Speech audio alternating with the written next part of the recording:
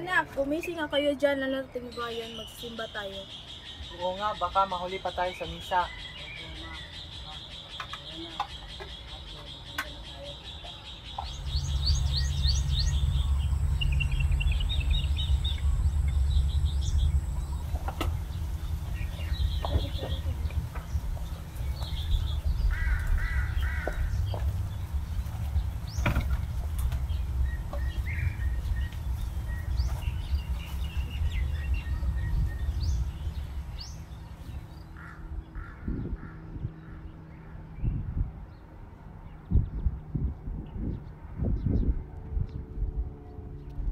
Mga anak, nyo, magsisimula na yung misa.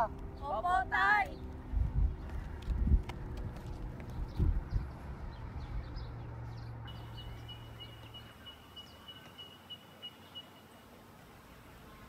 Mga anak, palagi kayo magpapakabait ha, lalo na wala ako upang maging katuwang ng mga magulang.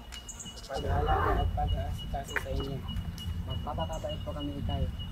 Ikaw naman, Gillian, tulungan mo ang mama mo sa pagbabantay ng kapatid mo dahil ikaw ang mas nakakatanda. Opo, itay. Tutulungan ko po si Nay. Huwag po kayong mag-alala. Ikaw naman, James, huwag kang maging pasaway ha. Baka matulad ka sa ibang bata na ngayon ay napapariwara. Magpapakabait po ako, Itay. Pagbubutihan ko po ang aking pag-aaral na hindi mo dahil ng ibang bata na napariwara. Huwag mo kaming alalahanin, mahal. Okay lang, magiging okay lang kami. Ikaw ang palagi mag-iingat dahil wala kami sa tabi mo upang alagaan ka. Sige, baka baka maiwanan na ako sa aeroplano. Paalam mga anak ko. Paalam mga ko. Kaya din yung tanda- tatandaan na mahal ko kayo at palagi rin kayo magdarasal at magsimba kahit wala si Papa. Mahal na mahal ka din namin mga anak mo mahal. Palagi ka rin magdarasal. Paalam.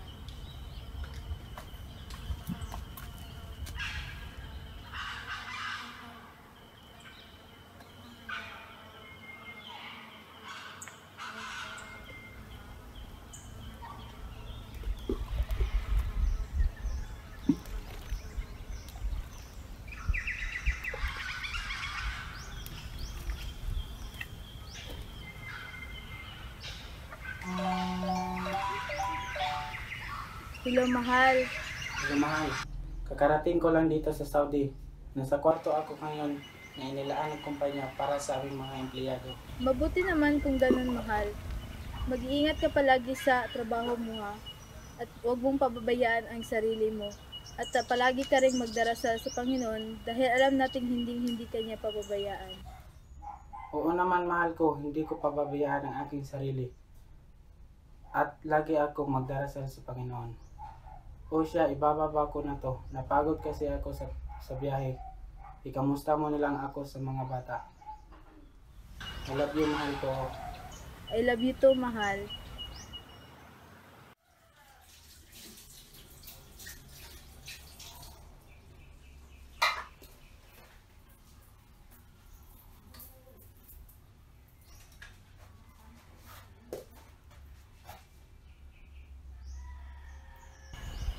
Hello, mahal. Mahal, baka hindi ako makatawag sa susunod na linggo. Dahil masyado kaming busy sa trabaho. O sige, mahal. Ayos lang yun. Basta tumawag ka kapag hindi ka na busy, ha? Love, Love you, Papa. I love you too, mga anak ko. Bye-bye.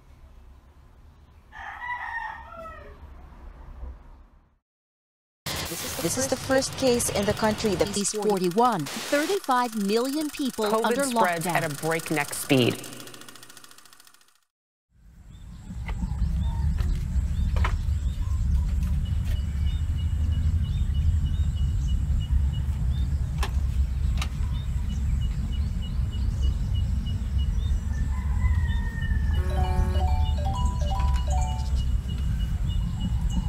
Hello, mahal.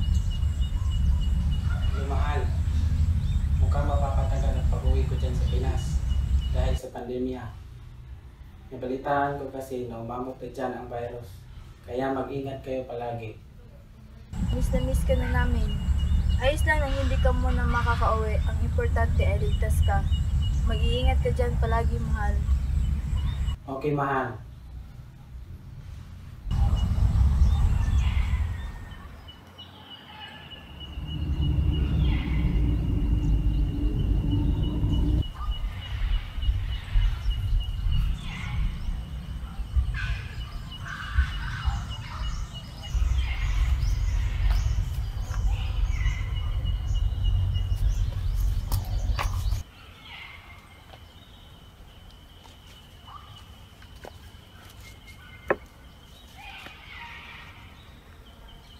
Hello, mahal. May napansin ako parang may pagbabagong nangyayari kay Jillian. Anong pagbabago ang ibig mong sabihin, mahal? Madalang na lang kasi siyang kumain at hindi na masyadong nakakausap kagaya ng dati. Kinausap mo na ba siya tungkol dyan?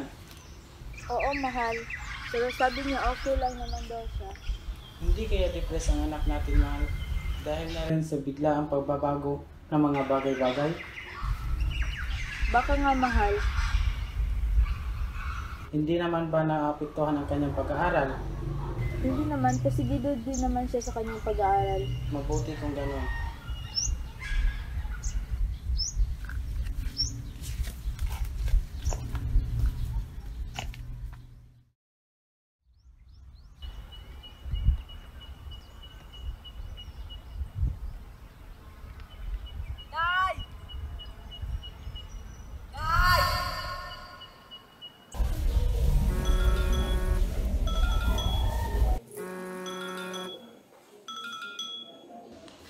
Hello, mahal. Si Jillian, isinuod namin siya sa ospital. Bakit? Anong nangyari kay Jillian? Kasi bigla na lang siya nahimatay kanina. Buti na lang at nasalo siya kaagad ni James. Kaya't walang natamo sa ka- kahit na ano sa katawan. Kamusta ang lagay niya? Anong sabi ng doktor? May ulcer daw siya, sabi ng doktor. Dahil siguro ito sa pagdalaw niyang kumain. Hindi naman daw malala? Hindi naman daw mahal. Ay salamat at hindi pa rin niya pinabayaan ang anak natin. Magdasal tayo para sa kapakanan ni Jillian Mahal. O sige mahal, mag-ingat ka dyan palagi.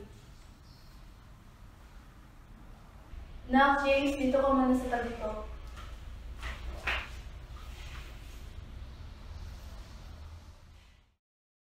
Ate, gusto mo bang sumali sa youth organization ng barangay natin?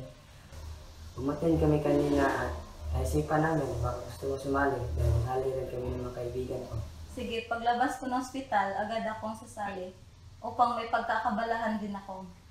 Mabuti nga iyan, anak, upang hindi ka na palaging nagkukulong sa kwarto mo.